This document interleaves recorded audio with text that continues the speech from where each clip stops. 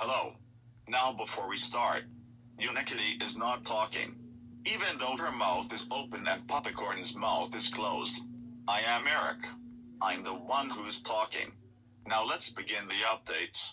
So I know that it's taking forever for the user to make the 2019 edition of his Captain Underpants collection. But it's coming as soon as about this Friday. Also, the user will be doing a Nickelodeon and Nick Jr. VHS and DVD collection for 2019. It will be separated and will be uploaded by October 31st or November 1st. So that's all. Now I'm out of here.